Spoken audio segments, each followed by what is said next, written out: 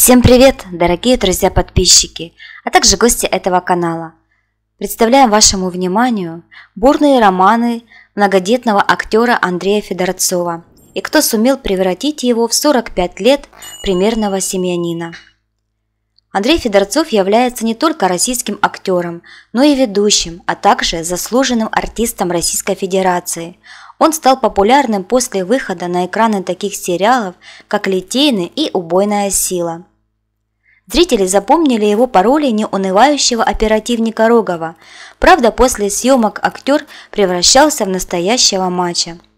На счету Андрея большое количество бурных романов, которые позавидовали бы многие мужчины. Родился он на территории Ленинграда, в семье, которая была далека от искусства и кино. Сестрой Андрею частенько нравилось устраивать домашние спектакли и концерты. Стоит отметить, что между родственниками всегда были доверительные и теплые отношения, начиная еще с детского возраста. Мама врач, папа инженер. В детстве на отдыхе к маме подошла девушка и предложила снять Андрея в кино. Тогда мама отказалась, хотя в тот момент мог произойти дебют будущего актера в кино. В школе Андрей занимался спортом. Когда же повзрослел, занимался борьбой, даже несмотря на то, что был слишком маленького роста. В их семье никогда не было диктата, и о рукоприкладстве не шла речь.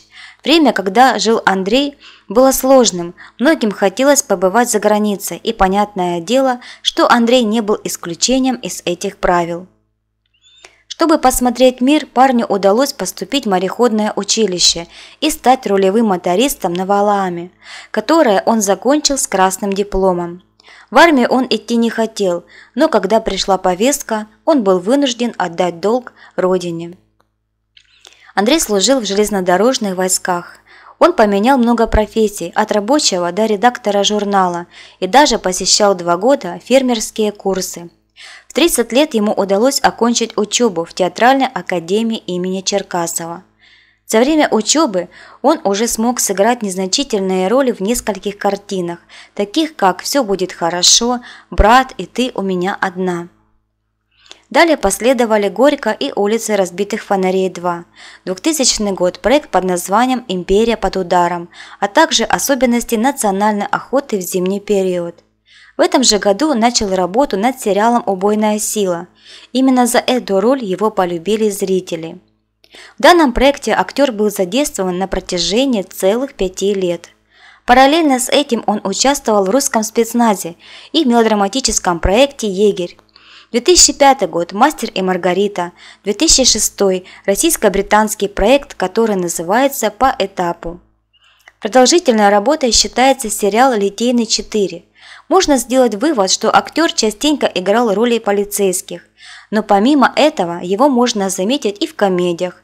Например, «Тот еще Карлсон», «Елки лохматые» и «Что творят мужчины». Главную роль актер сыграл в белорусском проекте под названием «Чаклун и Румба».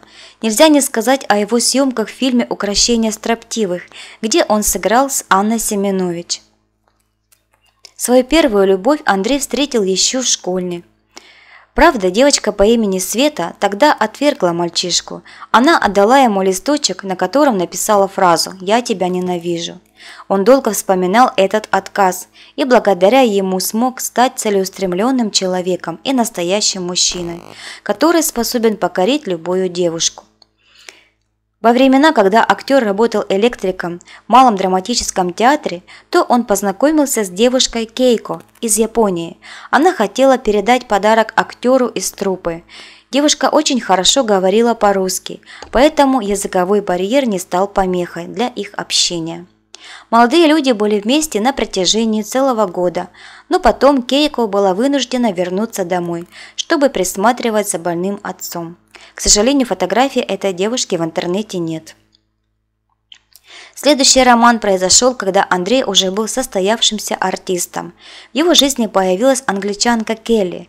Девушка приехала в Россию на практику, чтобы выучить русский язык. Около трех лет влюбленные были неразлучны, и Андрей даже некоторое время жил у ее родителей в Манчестере. Они предложили ему остаться жить в Англии. До этого и хотела девушка, но он отказался. Актер не собирался бросать свою карьеру в России. По этой причине пара рассталась. Фото этой девушки также нет. Далее наступили непростые 90-е, когда обрушился кризис. Актер, как и многие, на то время остался без работы. Андрей отчаянно искал, где можно заработать, и устроился в зоомагазин. Через некоторое время он вместе с сестрой открыл маленькую ферму с оптовым складом. Андрей нанял на работу девушку по имени Мария, с которой и закрутил служебный роман. Они начали жить гражданским браком, и Маша родила актеру сына, которого назвали Михаил. Правда, появление ребенка не смогло сохранить их отношения. Андрей бросил Машу, объяснив это тем, что если нет чувств, то нужно расходиться. Актер всегда помогал сыну финансово и время от времени навещал его. Следующей избранницей актера стала его давняя знакомая из Жуковки. Девушка Катя приехала в Петербург, чтобы поступить в институт. Он сразу очаровал девушку, и они стали жить в его квартире. И вскоре Катя родила дочь, которую назвали Варвара. Как и в предыдущих отношениях, чувства актера быстро угасли, и пара рассталась. Правда, Катя с дочкой остались жить в квартире актера. Свои апартаменты Андрей переписал на дочку. И только лишь в 45 лет актер нашел свою настоящую любовь, как он говорит, и впервые женился официально. Избранницей стала девушка Екатерина, выпускница художественного училища, которая подарила актеру двух дочерей – Дарью и Ксению. Так актер стал многодетным папой.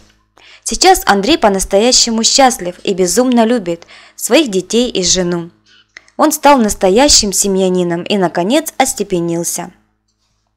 В данный момент актер не часто жалует поклонников новыми ролями. В 2016 году вышли такие проекты, такие как «О чем молчат французы» и «Кризис нежного возраста». В 2020 году он снялся во втором сезоне сериала «257 причин, чтобы жить», а также в комедийном проекте номер один – так как актер привык с радостью браться за новые роли, можно ожидать, что в скором времени на экранах появятся не менее популярные проекты с его участием. Всем спасибо за внимание. Желаю вам всего доброго, всего самого замечательного. Всем удачи, до новых встреч и всем пока-пока.